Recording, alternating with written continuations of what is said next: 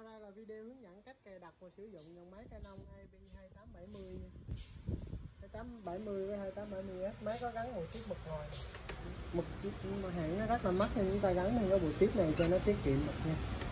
Khi sử dụng chúng ta lưu ý, cái bình nút nhỏ này chúng ta mở hết ra nha. Cái nút nhỏ hết rồi cái bình này chúng ta để bằng máy vậy là được. Rồi giờ chúng ta sẽ cắm nguồn, chúng ta cài đặt nữa nha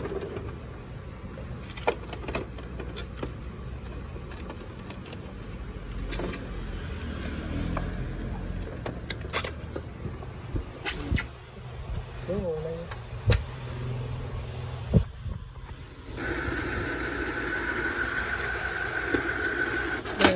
đây là giấy nha khay bỏ giấy bên này nha. Dòng máy Canon đi 2870S nè 2870 2870S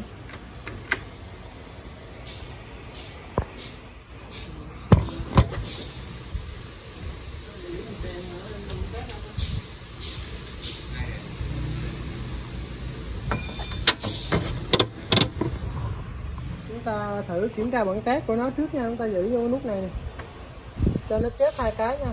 Một. Rồi chúng ta thả nó ra.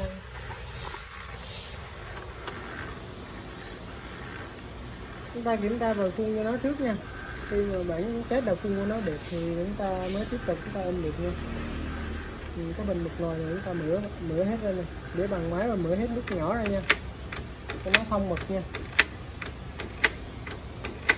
mọi người muốn sửa chữa hay là muốn gắn mực liên tục thì liên hệ số điện thoại bên dưới nha. Có phần bỏ phần mô tả nha. Dưới đó liên hệ để gắn mực nha.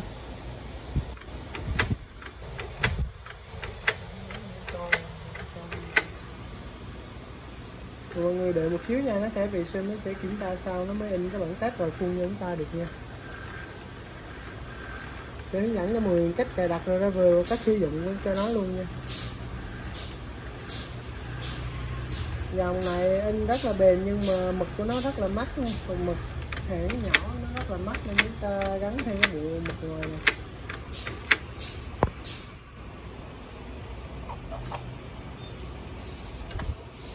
Rồi, nó báo xếp mực nè.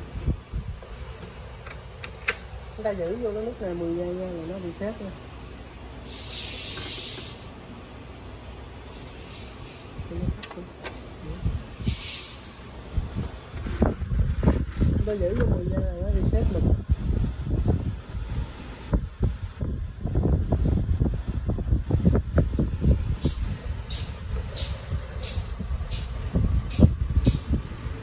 Rồi, ta giữ luôn.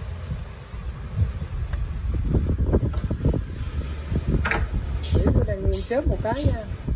Rồi chúng ta thả ra. Rồi, nó reset mực nha. Rồi, chúng ta cái bạn test này chúng ta giữ cái này hai tại cái máy này nó chế nó chỉ có một nút bấm thôi. Nhưng chúng ta xử lý nó hơi khó, nhưng mà chúng ta quen này thì xử lý được. Bình thường nó sẽ có hai nút bấm cho chúng ta. Tôi giữ cho nó chết hai đèn thì nó in nó cái bản test cho chúng ta nha. Rồi, nó in ra cái bảng đủ màu vậy là chúng ta in được nha. Đen, xanh, vàng, hồng đủ vậy là chúng ta in được. Bây giờ chúng ta sẽ tiến hành cài đặt rồi ra vừa cho nó nha. Rồi, để cài đặt rồi ra vừa chúng ta lên google nha rồi, rồi chúng ta bấm vào driver của Canon IP2870 nè. Nó là IP28 2008 nha nó là series 2008 nha chúng ta tải gì. Người muốn tải thì có đường link driver bên dưới người tải vậy thôi. Rồi mọi người tải về.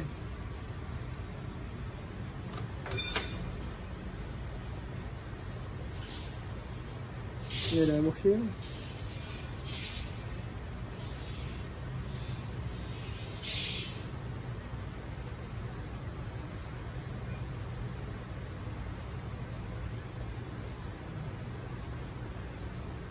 Rồi, mọi người xem pha đây. Cái này chúng ta mở lên luôn. Rồi, chúng ta mở. Rồi, chúng ta bấm lên. Rồi, chúng ta bấm nét luôn nha. Rồi, chúng ta chọn vùng Asia, còn không, chúng ta bấm nét luôn được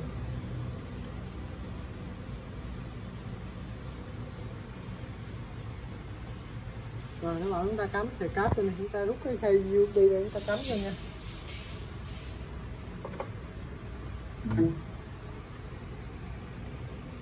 Đó, vậy là chúng ta đã cài đặt thành công nha. Để kiểm tra không, chúng ta in cái bản riêng test bay cho nó nha.